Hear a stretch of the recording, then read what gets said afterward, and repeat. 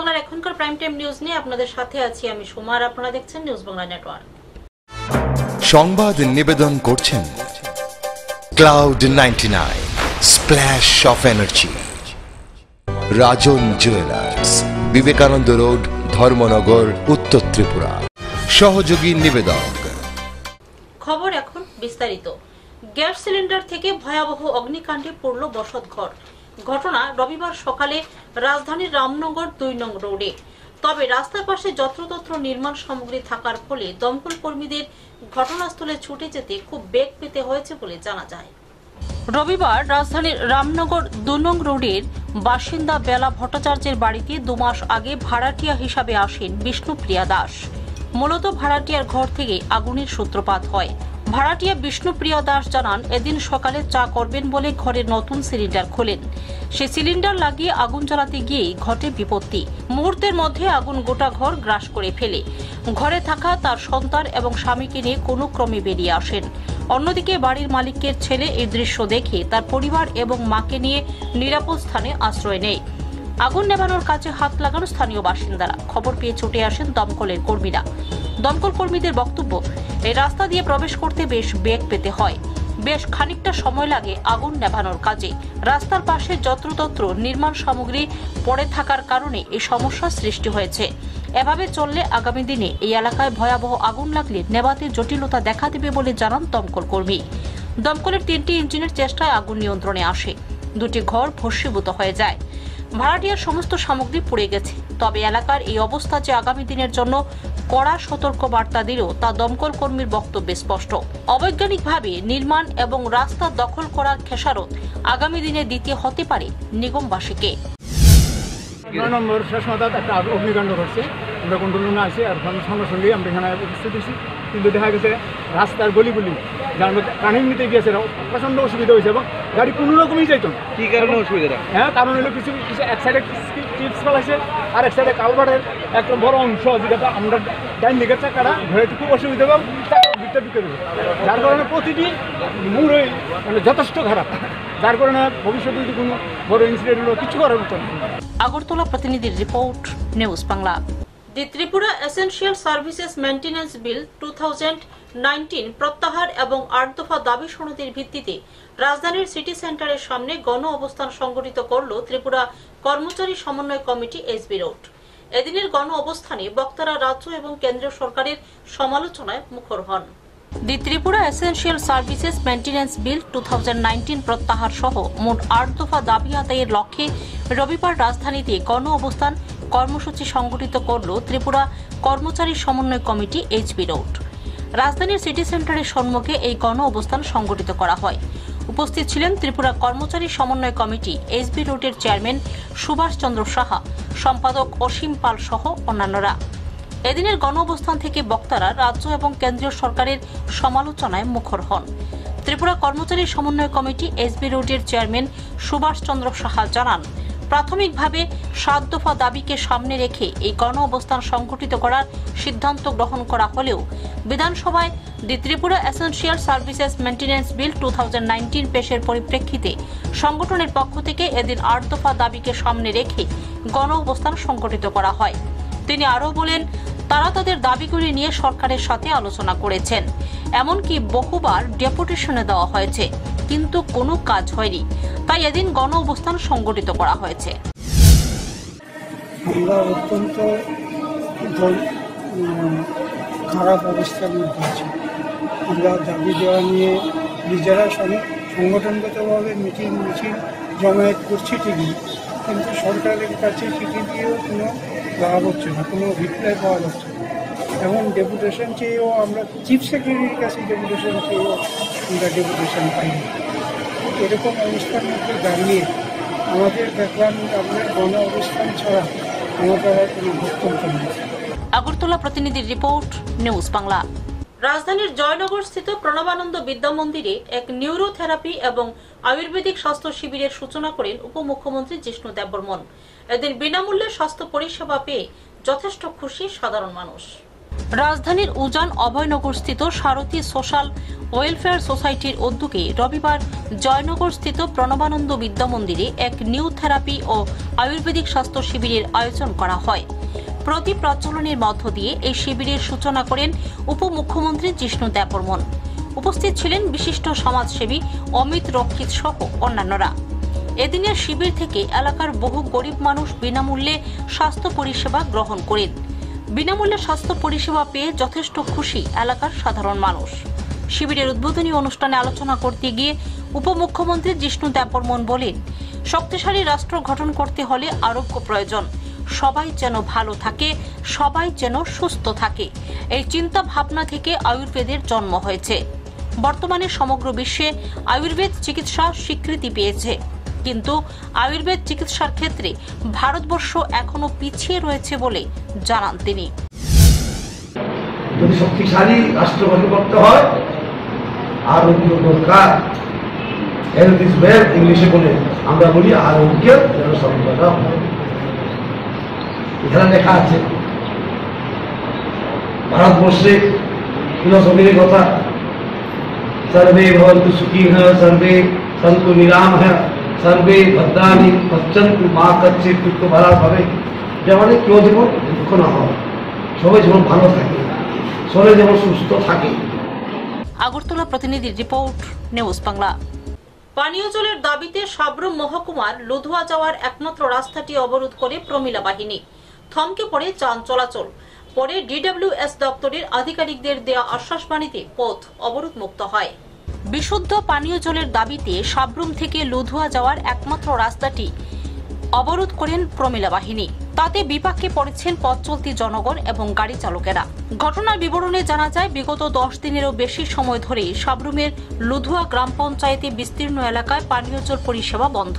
বহুবার পঞ্চায়েত প্রধান এবং স্থানীয় নেতা নেত্রীদের জানিয়েও কোনো রকম সুরাহা হয়নি। তাই বাধ্য হয়ে গ্রামের প্রমিলা বাহিনীরা রাস্তা অবরোধে বসেন। সকাল এগারোটা থেকে অবরোধ চলার পর ডিডব্লিউসি এর কর্মকর্তারা অবরোধস্থলে গিয়ে আশ্বস্ত করেন যে অতি সত্বর জলের সমস্যার সমাধান হবে। ডিডব্লিউএস কর্মকর্তার এই আশ্বস্ত বাণী পেয়ে তারপর রাস্তা অবরোধ তুলে নেন গ্রামবাসীরা। আপনারা ক্লিয়ার রাস্তা অবরোধ করছেন? লাগে কোন জায়গা এটা? কোন পঞ্চায়েত? আপনারা কি জল পান না? না। কতদিন ধরে? আজকে মানে বিশ পঁচিশ দিনের মতন। এ ব্যাপারে কেউ জানাইছিলেন নি?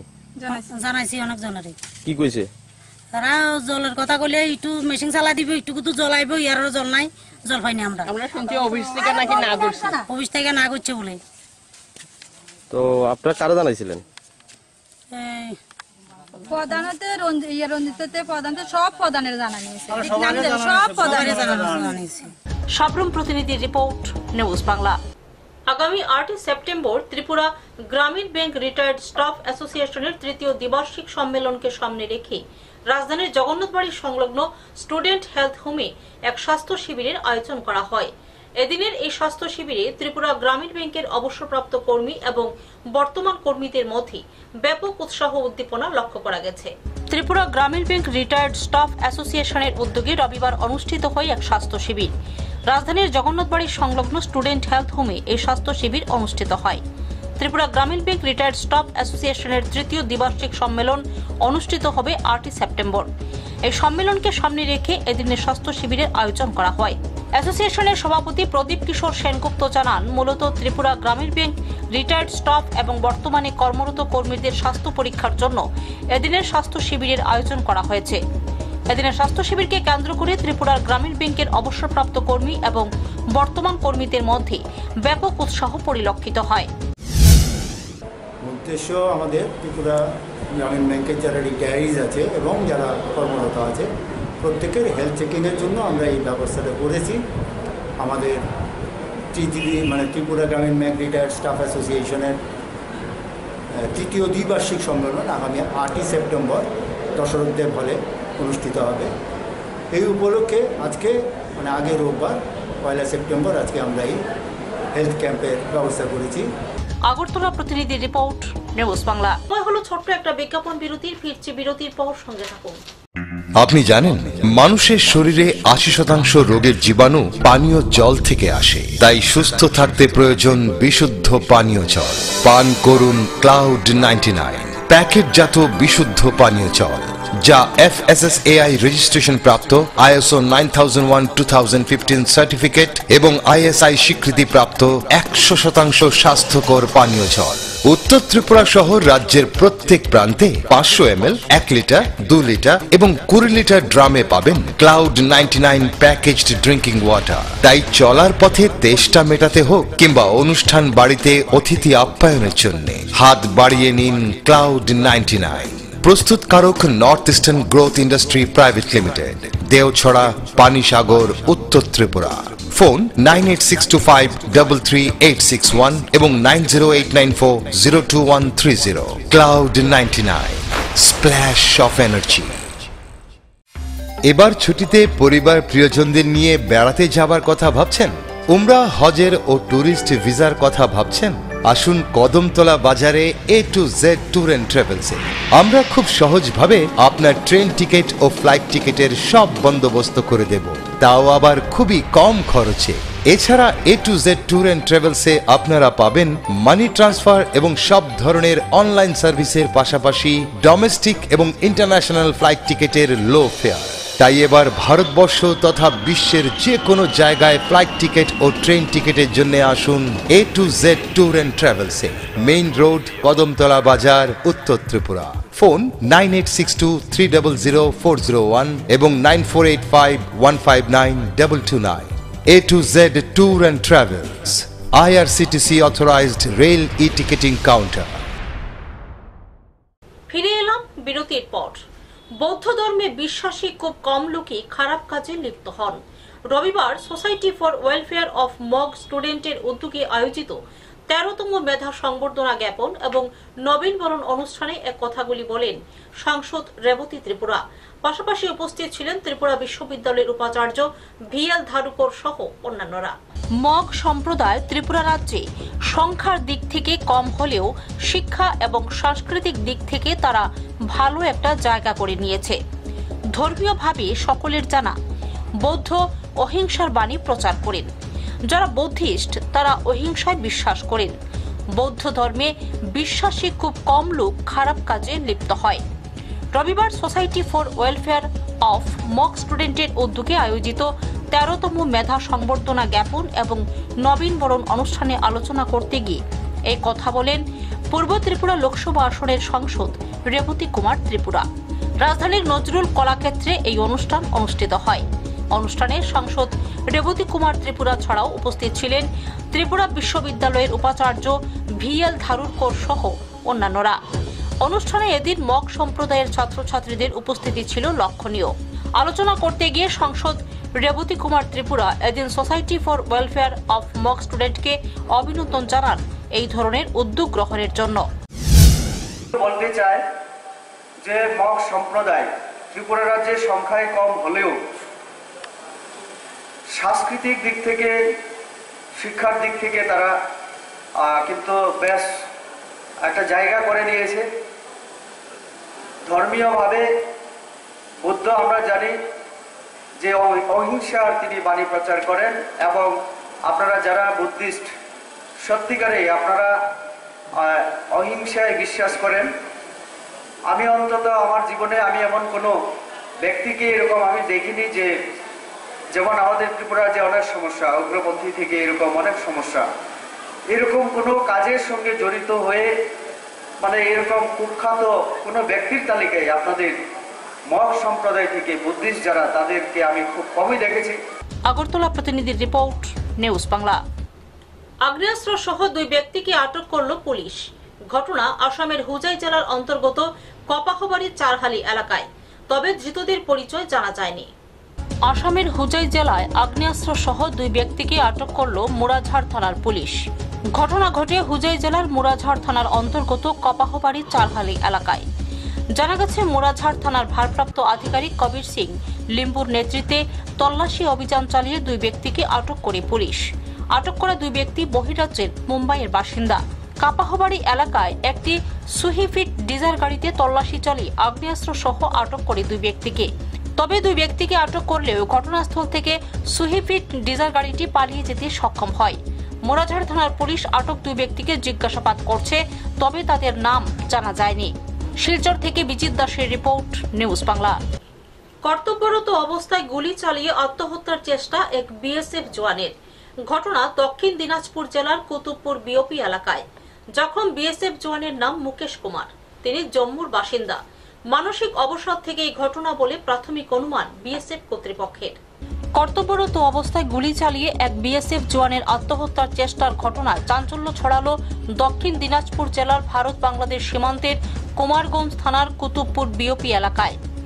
যখন বিএসএফ জওয়ানের নাম মুকেশ কুমার, বয়স পঁয়ত্রিশ বছর। তিনি জম্মুর বাসিন্দা। বিএসএফ সূত্রের খবর, দীর্ঘদিন ধরে মানসিক অবসাদে ভুগছিলেন ওই জওয়ান। মানসিক অবসাদের কারণে আত্মহত্যার চেষ্টা বলে প্রাথমিক অনুমান কর্তৃপক্ষের। রবিবার জখম বিএসএফ জওয়ানকে প্রথমে বালুরঘাট সুপার স্পেশালিটি হাসপাতালে ভর্তি করা হয়। সেখানে তার শারীরিক অবস্থার অবনতি হওয়ার পর মালদা মেডিকেল কলেজ হাসপাতালে রেফার করা হয়। আঠাশ ব্যাটালিয়নের বিএসএফ এবং পুলিশ ঘটনার তদন্তে নেমেছে। মালদা প্রতিনিধির রিপোর্ট, নিউজ বাংলা। বিনা কারণে জনৈক রাখাল কর্তৃক গাড়ি চালককে গালিগালাজ এবং মারধরের কারণে মালদার হবিবপুর ব্লকের আইহো থেকে শিশির কলাই বাড়ি পর্যন্ত যান চলাচল বন্ধ করেন যান চালকেরা। জানা যায়, এ ব্যাপারে হবিবপুর থানায় লিখিত অভিযোগ জানান যান চালকেরা।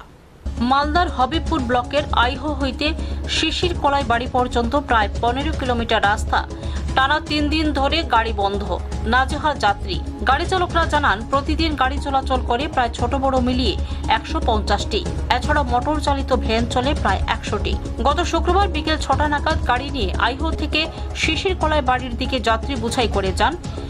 শিশিরকলাই এলাকায় ঢোকার পর যখন যাত্রীদের নামানোর সময় ওই এলাকার কিছু রাখাল, গরু নিয়ে আসার সময় গাড়ি রাস্তা থাকায় ওই এলাকার রাখাল গরু যেতে না পারায় খারাপ ভাষায় গালিগালাজ করে বলে অভিযোগ করেন গাড়ি চালক গোপাল সাহা। তারই প্রতিবাদ করে কেন বিনা কারণে গালিগালাজ করছে? সে সময় হঠাৎ করে গাড়ি চালকের উপর চড়াও হয় ওই রাখাল।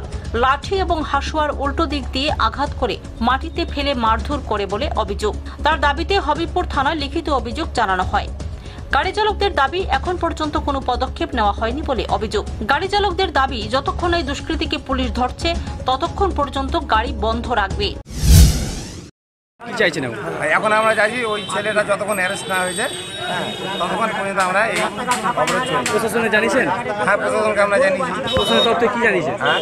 কি জানিয়েছেন? প্রশাসনকে আমরা জানিয়েছি যে তাকে অ্যারেস্ট করা হোক। হ্যাঁ আমাদেরকে একটা আশ্বাস দেখ হ্যাঁ রাস্তাঘাট ক্লিয়ার করে দেখ হ্যাঁ তাহলেই আমরা গাড়ি চালাবো। মালদা থেকে দেবাশিস পালের রিপোর্ট নিউজ বাংলা। এখনকার মতো প্রাইম টাইম নিউজ এ পর্যন্তই। আমাদের পরবর্তী সংবাদ দেখার জন্য চোখ রাখুন নিউজ বাংলার পর্দায়।